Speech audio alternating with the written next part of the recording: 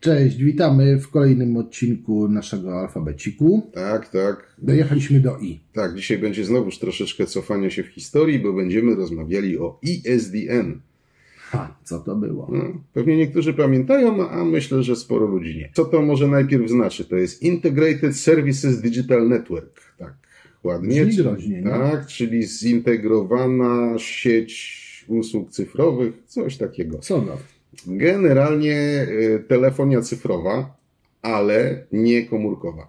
Taka na kablu. Cyfrowa po kablu, w skrócie ujmując. Tak, było, było coś takiego. Mm, y, Zaczęli to wymyślać na początku lat 80., powiedzmy skończyli pod koniec lat 80. i lata 90. to miały być wielka era przechodzenia na, na ISDN. Już miało nie być telefonii takiej zwykłej, analogowej, tylko wszędzie miały być ISDN-y. No, nie pykło, bo troszeczkę postęp poszedł za szybko i okazało się, że ISDN Jest niepotrzebny po prostu. jest tak, za, za, chwilę się, za chwilę się zestarzał, natomiast niewątpliwie ISDN oddał bardzo duże, że tak powiem, usługi, jeżeli chodzi o wymyślenie jakby i przetestowanie pewnych rzeczy. Bo na przykład w ISDN-ie pojawiło się coś takiego, co obecnie znamy pod nazwą SMS. Tam można sobie było wysłać krótką wiadomość tekstową do 128 bajtów z telefonu na telefon. Mówi wam to coś? Tam można było na przykład zawieszać rozmowy, tam można było robić różne dziwne przekierowania. Zasadniczo, jak sobie poczytacie, co można było robić w ISDN-ie, Zaczyna przypominać komórki, nie? mhm. Bo tam i była identyfikacja numeru wychodzącego, przychodzącego. Mogliście blokada sobie- identyfikacji tak, numeru i wyłączyć, takie różne dziwne rzeczy. było widać. Zasadniczo ja mam wrażenie, że ludzie, którzy wymyślali specyfikację GSM-u, to po prostu wzięli ISDN-a. wzorowali, no. Myślę, że nie trochę. Myślę, że w zasadzie całkowicie, jeżeli chodzi o, o tą e, sferę funkcjonalną, to przenieśli funkcjonalność ISDN-a po prostu na sieć bezprzewodową No i ale to aż się prosiło, bo jedno i drugie bo opierało Było się cyfrowe, na cyfrowa tak, usługa, cyfrowe. więc jakby siłą rzeczy, no nie wymyślali koła na nowo, tylko już mieli coś, co działa, jest Tak, rozpracowane. wiedzieli, co się i sprawdza, Wiedzieli, że ludzie z tego tak. korzystają, bo to jeszcze jest ważne, że ktoś z tego chciał korzystać, no bo usługa, z której nikt nie będzie chciał korzystać, to też o kant tyłka rozbić, więc tu aby mieli już jakieś tam doświadczenie na tym polu i wiedzieli, że na przykład identyfikacja numeru to jest bardzo przydatna rzecz. Tak, i teraz jeszcze może o parametrach ISDN. No więc ISDN, taki typowy abonencki, to były tak zwane dwa kanały B plus kanał D. Kanał B to był kanał, taki powiedzmy kanał danych, 64 kilobity, na którym można było na przykład prowadzić jedną rozmowę telefoniczną, albo coś tam sobie ściągać z internetu.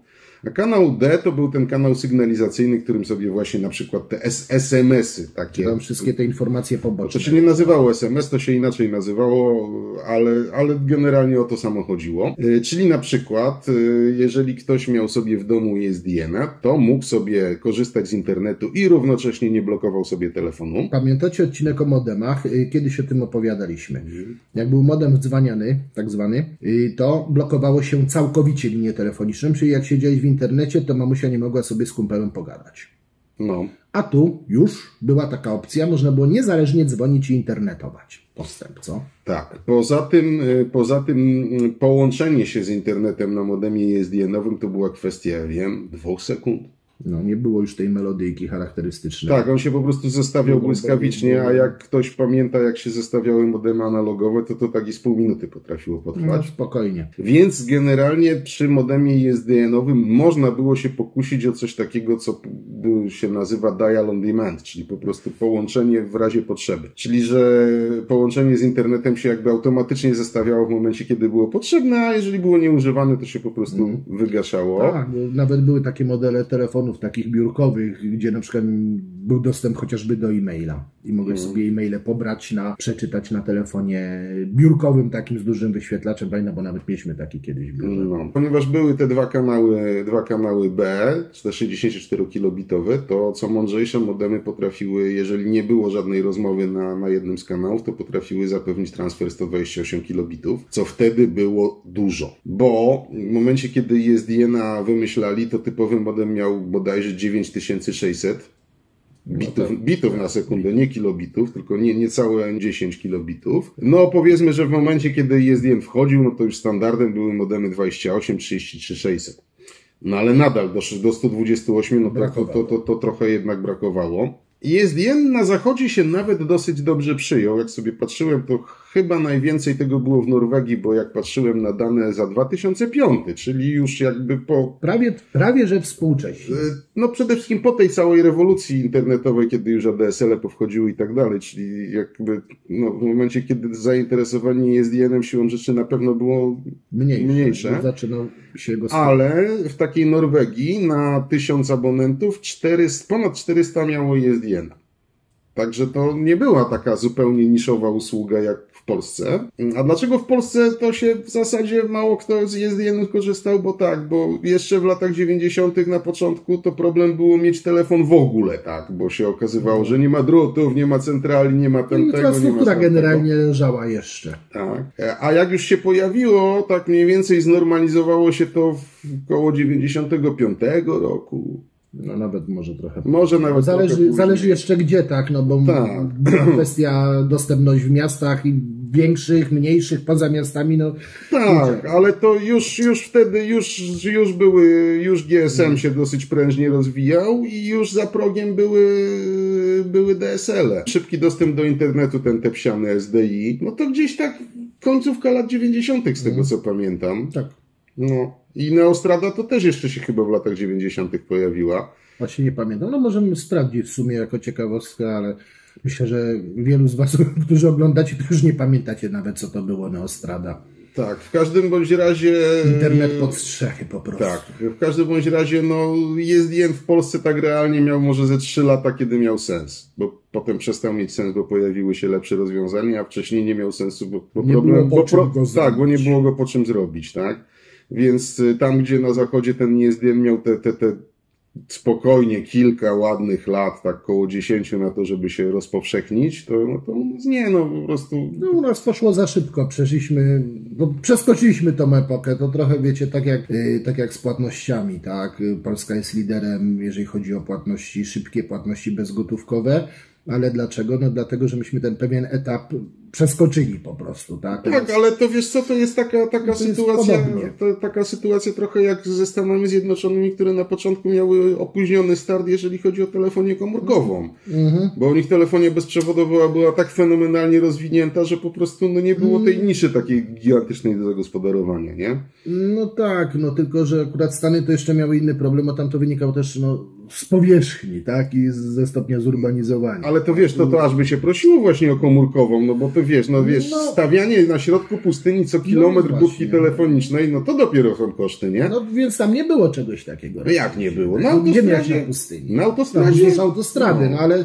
nie, wzdłuż autostrady zazwyczaj się jakiś drut kładzie, więc jakby to było naturalne. No tak, ale tam wiesz, tam miałeś farmę pośrodku niczego, No tak. dzwoniłeś do kompanii telefonicznej i za parę dni miałeś telefon, nie? No nie wiem, bo akurat nie miałem farmy w USA, więc ciężko mi się wypowiadać, no ale tam był problem taki, że były tereny słabo zamieszkałe ogólnie, a rozległe, więc Dobra, ale to powiedzmy No, jest nie na temat. bo tak. Generalnie ISDN na, na zachodzie Europy się dosyć dobrze przyjął, a u nas nie, no bo, no bo nie miał no czasu. to się tak? okazało, że nie zdążył się przyjąć, bo zanim dobrze wszedł, to stał się już niepotrzebny, a teraz no, to komórki. Zobaczcie, że nawet w tej chwili w zasadzie mało kto używa normalnego telefonu stacjonarnego na drucie, jakimkolwiek. Już nie wnikamy, czy to jest ISDN, czy, czy, czy, czy klasyczna linia. No praktycznie, zobaczcie, no ludzie z tego rezygnują. Ja nie wiem, czy ktoś z Was ma w ogóle telefon stacjonarny, a w wielu przypadkach jest jeszcze coś takiego jak telefon stacjonarny korzystający z sieci komórkowej, bo co prawda jest to wielki kawałek obudowy z dużymi klawiszami i słuchawką taką do trzymania w ręku na biurku,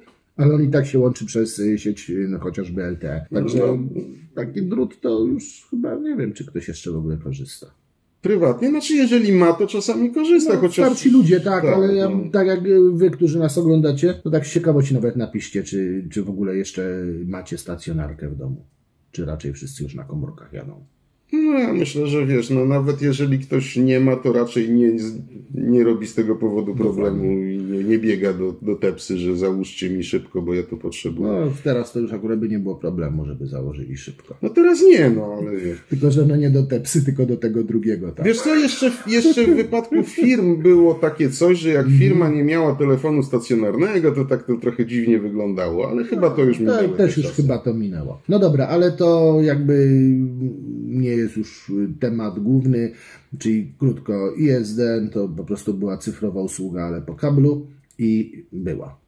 I była, tak. Natomiast ważne, ważne, jeżeli chodzi o SDN, jest to, że to był taki pierwszy test y, cyfrowych usług telefonicznych, który potem w zasadzie został w większości przejęty przez, przez telefonię komórkową. Natomiast jeżeli chodzi o rozwiązania już takie typowo elektroniczne, to ISDN tak naprawdę bardzo mocno się przyczynił do rozwoju później ADSL-i, czyli, czyli szybkich łączy cyfrowych na, na drucie. No bo to była transmisja cyfrowa realizowana na parze kabli telefonicznych po prostu, więc jeżeli zrobiliśmy to na 128 kilobitów, no to czemu by nie na więcej, nie? Po prostu podwaliny pod dalszy rozwój jakby sieci. Tak. I dlatego ISDN jest ważny, chociaż w zasadzie w tej chwili... No i dlatego o nim postanowiliśmy przypomnieć. Jasne. A teraz zapraszamy za jakiś czas na kolejną literkę i dziękujemy za oglądanie i do zobaczenia. Cześć.